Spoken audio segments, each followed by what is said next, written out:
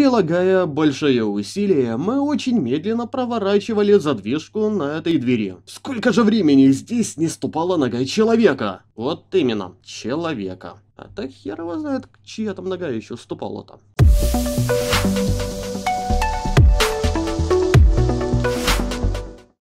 А перед началом этого видео попрошу поставить лайк и написать любой комментарий. Это поможет в продвижении канала. Спасибо! Здорово, братаны, вы на канале Дивплей, меня зовут Евгений, и сегодня мы будем продолжать проходить последнего героя, так что погнали! Э, что там может случиться? Да, мне просто это место не очень нравится. Не хотел бы его посещать до самого конца смены, но вот видишь, как получилось. Так, ладно, не будем о грустном, лучше поспешим. Чем раньше дойдем, тем раньше уйдем? Верно. Сейчас у меня возникло ощущение, что это я сейчас иду с... Что это я сейчас иду с шустрым и лис на очередное дело. Ведь мы ходили именно с такой скоростью всегда. Пошли быстрее. Боишься, что вырочка убежит? И это тоже. Андре... Андрей? Андрей! Я пришел в себя, услышав, как Сергей окликнул меня впереди. Чего? Уже подходим, ты готов увидеть это место? Глупый вопрос. Так, да ладно тебе, сделал бы вид, что тебе интересно. А то большую часть дороги грустишь. Думаю о своем, не обращай внимания. Понял. Кстати, вот и пришли. Корпус как корпус, заброшенный. Мы наконец-то добрались до этого места, именующим себя старым корпусом. Честно говоря, я и не представлял его лучше. Почерневшие доски и потрескавшиеся кирпичи самого здания. Казалось бы, столько всего пережили, что становилось поневоле грустно.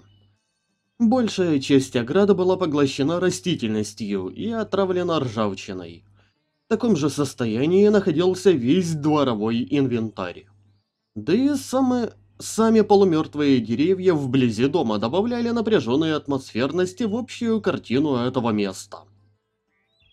Это вот здесь и проводит большую часть времени Семен. Теперь понятно, почему у него не все в порядке с головой. Электроник снял со спины рюкзак и начал активно что-то в нем искать. «Да где же она?» Я пойду посмотрю поближе. Ага, давай, я сейчас тоже подойду. Пройдя по замшелой... замшелой дорожке ко входу, я обратил внимание на табличку входа главных дверей. Надпись была сильно поцарапана чем-то острым. Кто-то очень долго пытался убрать все ее содержимое... содержание. Я хотел открыть дверь, но с первого толчка она даже не пошевелилась. Заело. А может просто закрыто. Обход искать не хочется, сейчас попробую сделать проще. Дверь была настолько хлипкой, что мне удается выбить ее буквально с первого удара ногой. «Ты что там делаешь?» «Прокладываю нам путь». «Давай только не так шумно. И подожди меня вообще». Когда он подбежал ко мне, в его руках уже был листок, который, скорее всего, и был картой. А еще он сразу достал фонарик у входа и только потом махнул рукой вперед. «Пора заходить внутрь. Андрей, ты первый?» «Да нет проблем». Внутри оказалось не лучше, чем снаружи, да и глупо было ожидать что-то иное. Пыльные коридоры, выбитые двери, все указывало на то, что это место больше никому не нужно. Тем не менее, я заметил на полу следы пионерской обуви. Они были уже не такими свежими, но даже так. Это говорило о том, что сюда кто-то приходит. Да уж, все так, как и говорил Шурик. Место сильно запаршивилось. Это еще мягко сказано. Давненько я не бывал в таких заброшенных местах. Такое, как тут, редко увидишь. Шурик вроде говорил, что нам нужно спускаться под землю. Верно, смотри под ноги, тут где-то должен быть люк. Угу, вижу. Нам, к сожалению, как раз туда. Тогда пойдем. Подожди, прежде чем мы спустимся, хочу сказать одну важную вещь. С этого момента мы должны держаться вместе и не расходиться ни на шаг. Само собой. Кстати, а ты не хочешь проверить все комнаты здесь? В том числе и на верхнем этаже. Может, тут есть еще кто-то? Только время зря потеряем. Нам нельзя тут долго нах... задерживаться, не забывай. В лагере нас могут хватиться в любой момент. Ну, как хочешь. Ну-ка, помоги поднять.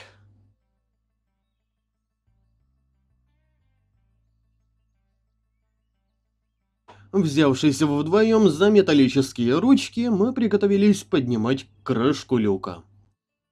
Раз, два, три... Смотри, никого не обостри. Подняв эту махину, Сергей посветил вниз и проверил, что спусковая лестница в порядке. Все, теперь можно спускаться. Не хочешь пойти первым? Иди-ка вперед, а я люк закрою за нами. А то зачем? Мы же не хотим, чтобы за нами кто-то пошел. И то верно. Ладно, я спускаюсь. Захлопнув за собой люк, я последовал за ним и оказался в огромном подземном тоннеле. Это место продолжало открывать все новые мрачные пейзажи. И каждый новый такой был еще более таинственнее, чем предыдущий.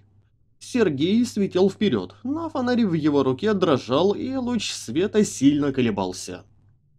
Видно, на этом и закончился его энтузиазм. «Давай ко мне фонарь, я пойду первый». Потому что нервные направляющие может стать большей проблемой для всей... большой проблемой для всей группы. Возражений не имею. Сергей радостно передал мне фонарь и любезно уступил место впереди себя.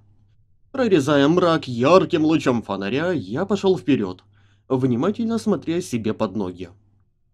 К такой прогулочке, видно, только я был морально подготовлен, а Серега уже дает слабину. Тем не менее, я тоже был немного на взводе. Конечно, мне доводилось слышать от Шурика в двух словах, что тут бомбоубежище и так далее. Но я совсем не представлял, что все здесь окажется таким реалистичным и правда похожим на настоящее бомбоубежище. Я ожидал подвальное помещение, соединенное узкими проходами. А тут прям Бродвей, с протянутыми кабельными линиями передачи. Теперь-то я действительно начал верить, что здесь можно найти не только детали для машины, но и что поинтереснее. Сейчас будет развилка, повернем направо. Кстати, а примерно сколько людей знают об этом месте? Да не так много. Вожатый состав и работники лагеря точно знают.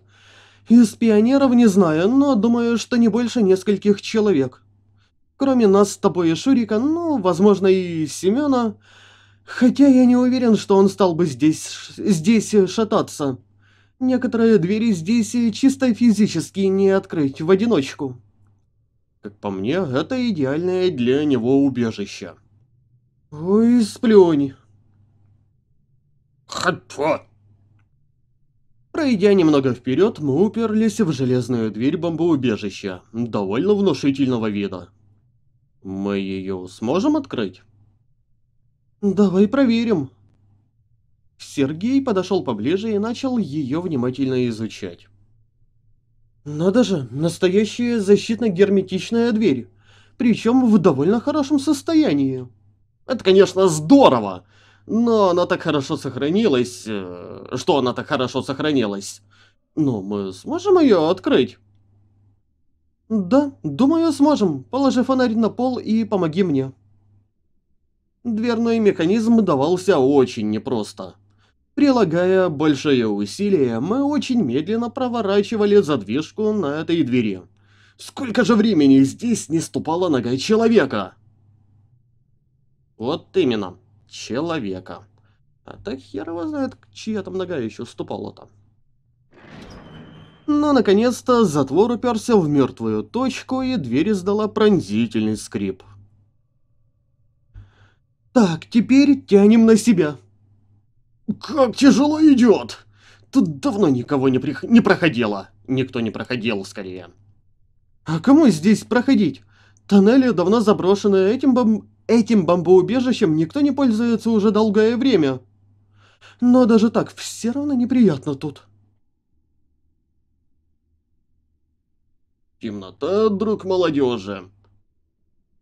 Это у нас еще и Сережа. Наконец-то мы внутри, но как же здесь темно. Так, попробую закрыть дверь сам.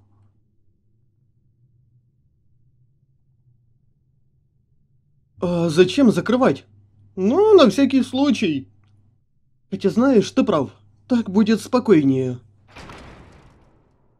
Закручивать вентиль было уже куда проще. Видно, мы хорошо расшевелили механизм, и теперь можно было открывать и закрывать двери в одиночку. Так, хорошо, подожди-ка, сейчас я включу питание. Тут еще осталась энергия? Электроник кивнул в один из углов и улыбнулся. Где есть резервный генератор, там всегда будет свет. Подойдя к мертвой коробке, Сергей небрежно пнул ее ногой. «Слышь, работать!» «Но ты серьезно?» «Видно, все-таки придется с ней повозиться. Подожди минутку». «Ты уверен, что он заработает?» «Знаешь, как мне говорили, все, что произведено советским народом, то прослужит века. А ему еще и полвека нет». «Надеюсь, это правда». «Ну, сейчас проверим». «От меня еще что-то требуется?» «Посвети мне фонариком тут». «Окейшки». То время, пока он ковырялся в генераторе, от него доносились различные звуки. То он что-то бормотал, то мычал, то вообще под огнем. Под конец начал орать. «Твою налево, ты будешь сегодня работать?» Теперь в нем лучше смотрится мастер своего дела. Наконец он не выдержал и еще раз ударил по генератору.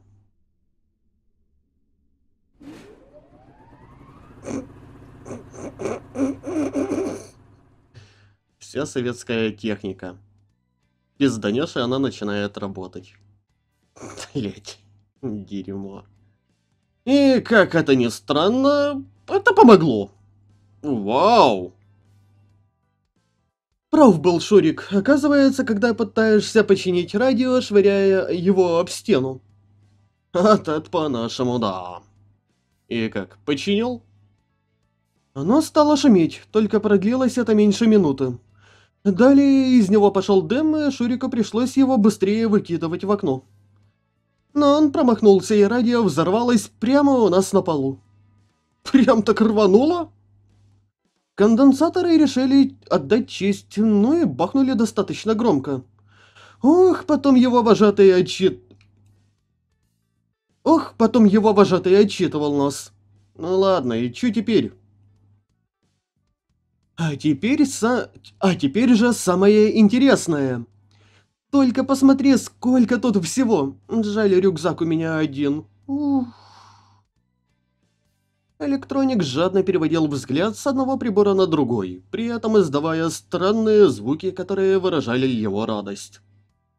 Открывая один за другим металлические шкафчики, Сергей чуть ли не подпрыгивал каждый раз от восторга. «Вот это удача, они даже не заперты!» Это очень хорошо, что у него всего один рюкзак. Ты долго будешь собирать необходимое? Но Сергей даже не обращал на меня внимания продолжая носиться возле приборов и нажимать на различные кнопки. Пустили, блядь, лесов курятник. Чувствую, что возиться он, долги... он будет долго. В первом попавшемся я обнаружил фильтры от противогаза. Много бинтов, а также много бутылочек с неизвестным содержимым. Но присмотревшись, я прочитал, что это был всего лишь промышленный спирт. Тут я за что-то задел ногой, когда переходил к следующему шкафчику. Это что-то отъехало вниз, и пришлось бы наклониться вниз, чтобы посмотреть. Наклонившись под шкафчик, чтобы посмотреть, что это было, я немного удивился. Противогаз, причем почти новый. И тут я вспомнил про данный пункт в списке вещей, необходимых Виолетте. Кажется, теперь я начинаю верить, что смогу все это найти. Подойдя к электронику, я дернул его за плечо. Но реакции вообще не последовало. Это нужно взять с собой. Ага. Он даже не понял, о чем я с ним говорю. Сука! Положив противогаз в рюкзак, я вернулся к следующему шкафчику и продолжил поиск интересного. В следующем шкафчике было довольно, было довольно большое количество различных инструментов. И еще больше запчастей, но явно не для машины. Для меня это было неинтересно, и я перешел к следующему. Через некоторое время я уже проверял все пять, проверял все пять шкафчиков с одной стороны. Но ничего толкового, что можно было бы взять с собой и не, пожал... и не пожалеть, не нашел.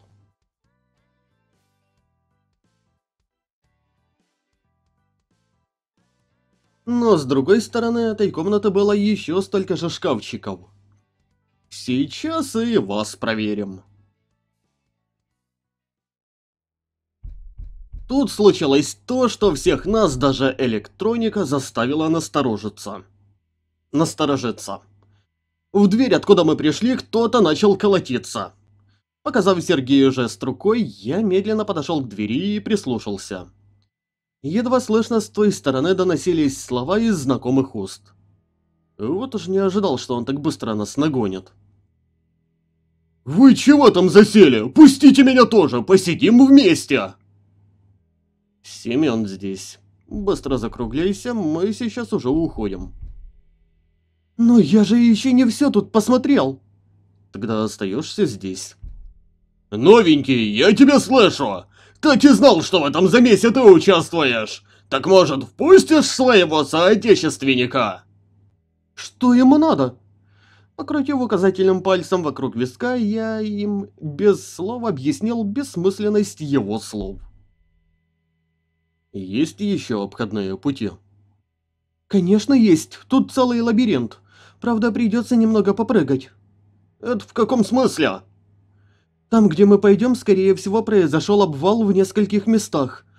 Прямо к нижнему уровню шахт. Откуда ты знаешь об этом? Ну, давай потом. Раз у нас возникли такие проблемы, поспешим выбраться. Не хотите открывать, так я сам открою! Он начал раскручивать вентиль со своей стороны. «Подождите только меня, я сейчас подойду!» «Найди трубу, любую!» «Так, ну, возьми вот эту!» Протянув мне трубу, Сергей странно на меня посмотрел и осторожно спросил. «Ты же не собираешься его, это самое?» Уперев железяку в выступ на двери, я зафиксировал ее на задвижке, чтобы заблокировать вращение. Повезло еще с формой самой трубы. Она была как раз со сгибом в нужном месте и идеально подошла для этой цели. Хорошая идея, но я пока ограничусь простым перекрытием прохода. Извини, уже было представил все как будет. Пошли скорее откроем другую дверь. Да-да, пошли. Но в отличие от первой задвижки, это даже не шевелилось, сколько бы сил мы не прикладывали. Стой, мне кажется, что ее заклинило, или она закрыта с той стороны. Придется выбивать. Смешно. Ты знаешь, сколько она весит? Нам ее наклонить-то не представляется возможным. Черт, это все очень плохо. Хм, тут ты не прав. Нужно только что-то вроде... Чего? Вон там. Я указал на лежащий возле кровати лом. Нужно им подцепить дверь. Быстро подняв инструмент с пола, электроник подкинул его мне. «Ну, ты же у нас кибернетик, так в каком месте лучше всего подцепить ее?» «Кибернетики не выламывают двери!» Электроник был уже на нервах, а Семен продолжал долбиться в двери и наводить на беднягу страх. «Так, не истери, сейчас я сам решу». «Нам конец, точно конец!» Да я тебя сейчас этим ломом тресну, если не успокоишься!» Окей. Есть. Тем временем я уже выбрал хорошее место, чтобы начать выламывать дверь. Но это было очень тяжело. Подцепив дверь сверху, я всем своим весом надавил на лом и понемногу наклонял дверь вниз. Так я здорово рисковал уронить дверь на самого себя, поэтому нужно было быть готовым вовремя отскочить. «Уже почти готово, отойди подальше!» Но это готово будет уже в следующий раз, наверное.